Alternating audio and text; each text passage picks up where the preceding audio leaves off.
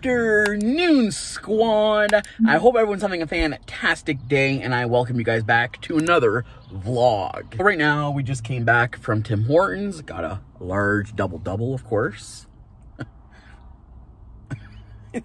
that will be my thumbnail. So I got a vanilla cream puff donut, dream donut. I had done a review on it and I'm not sure if it's already been released, but you guys should definitely check out that review. If I can find the review put out for you guys on my review channel, I'll put that link at the top of the description. You guys got to check it out. The dream donut was awesome. So right now we're at this Sarah's fruit stand.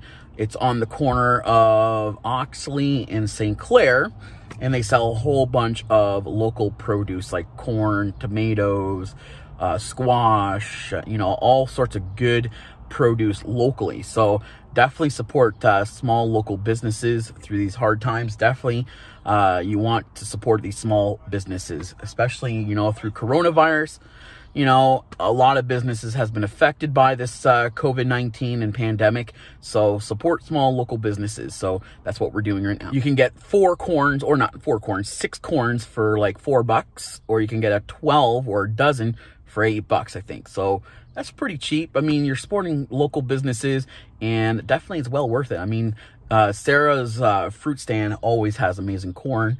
It's so sweet, delicious, and uh, you don't even need butter. Like a lot of times you put a lot of butter on uh, corn, but not me. I just put just, I just eat like that because it's that good. So the fruit stands right there.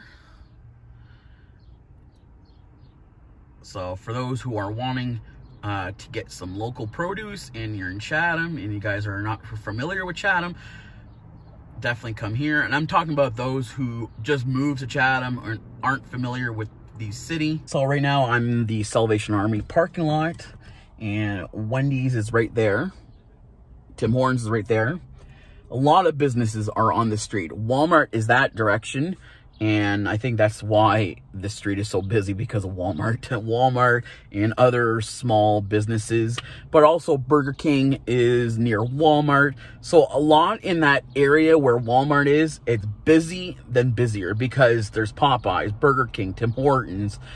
All of the businesses are on that street. So yeah, if you're ever coming to Chatham and if you're not familiar with the city, definitely uh, on St. Clair is going to be the busiest that you will ever visit. So I went to Food Basics to get a few things that I wanted to get for making subs at home instead of going to Subway all the time, even though I could live on Subway if I wanted to, but I thought I'd get a few things to make subs at home. So I'll show you guys what I got. So this is everything that I got. I got some tomatoes. I got this trio pack, salami, pepperoni, and smoked ham. I got some lettuce. I got some sub buns, of course, Maple City Bakery, support local. And of course, my double-double, of course. I need this to function. I'm gonna prepare my sub because I am starving. I am so hungry. Uh, that donut didn't fill me up. so uh, I'm uh, making a sub and I'm gonna show you guys my sub when it's done. Here is my sub, looking good. Some cheese, some meat, some tomato. Oh my God, that looks so good. I can't wait to dive in. Now we're gonna have corn on the cob. It's the corn on the cob that uh, we got from Sarah's uh, fruit stand. You guys all know I've showed you guys uh, I wanted to at least try it for you guys on the vlog because it looks amazing, doesn't it? Look at that. Oh, this way. Let's try this.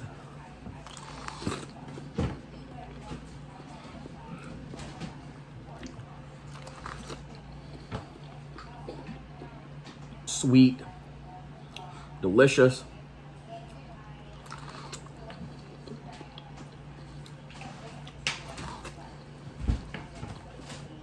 I'm like every direction. Up and down, sideways.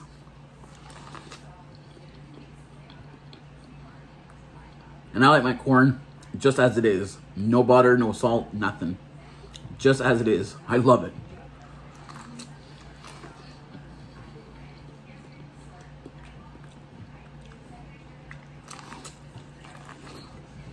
Now that was a good corn on the cob. Wow support local businesses. Definitely go to Sarah's. They have really good corn on the cob, sweet, delicious. Just everything great about corn on the cob, especially local corn on the cob, even better. So it's 6.20 now in the evening and I'm outside enjoying my iced coffee. Let's sit down. Uh, it was, dinner was really good. I had corn on the cob. I was kind of still kind of full from my sub this afternoon. That sub really hit the spot. That was really good. I might actually have another one tomorrow because that sub was awesome. The sun is just kind of beaming on me. But yeah, that sandwich, phenomenal. I actually got a few people that had messaged me on Instagram asking me if it was a Subway sub. And no, it wasn't. It was my own sub. And people are kind of impressed uh, the fact that it kind of looked like a Subway sub which is good because maybe I should be a, a, Subway artist. Is that what they call them? A sandwich maker or sandwich artist? Maybe I should uh, apply at Subway, right? Had to stand up because the sun was just beaming. You guys probably can see it up there. Look at the sun just beaming down. So I'm just enjoying my iced coffee. Uh, dinner was really good. I actually had two corn on the cob. Wow very good. Actually, it's pretty good. The first kind of set of corn on the cob that we've had for this season, anyways. Actually, it's pretty good. Very, very sweet, delicious. I'm not sure exactly what else I'll be doing for the rest of the evening. Um, today has been really nice. It was raining this morning. It was just raining all day yesterday, which was really kind of like upsetting.